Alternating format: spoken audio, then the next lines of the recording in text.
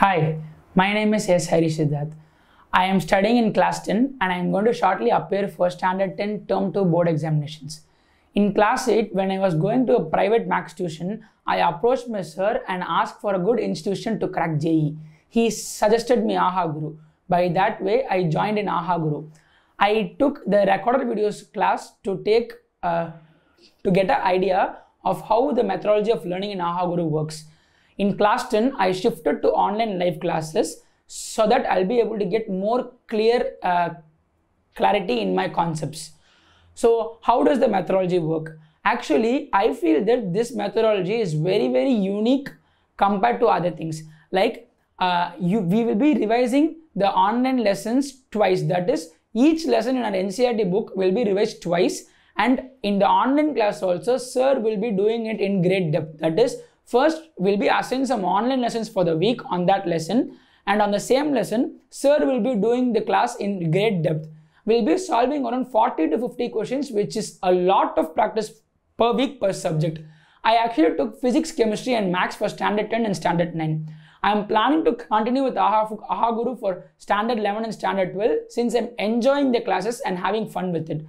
We'll be having many interactive sessions like we'll be having many quizzes and tests in the online classes which makes the class more fun and more entertaining.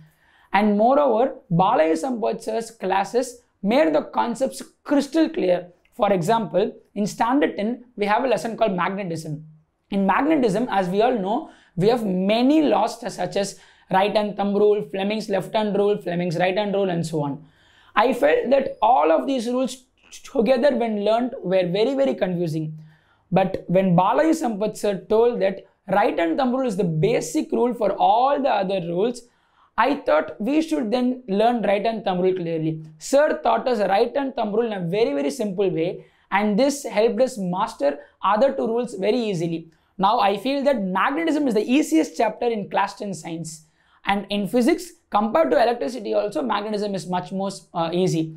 Uh, when we take the uh, example of chemistry, Santanam sir and DP Shankaran sir would relate the concepts in chemistry to a lot of stories these stories will help us to uh, understand the concepts and uh, make the concepts get into our minds very easily. For example, D.P. Shankaran sir related a story of sigma bond and pi bond to the uh, story of handshaking.